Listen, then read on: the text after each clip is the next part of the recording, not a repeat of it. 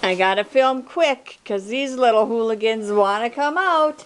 This is Robin and Martin, a couple of male, six month old, short haired, orange tabby with white kitty cats. They are super duper friendly, wonderful family cats. They're great with other cats. They're very friendly, very sweet. They want to see you. They want to play. They want love and they want to purr and to purr and to purr, purr, purr. So come and see them. They're only $25 if you adopt between now and May 13th.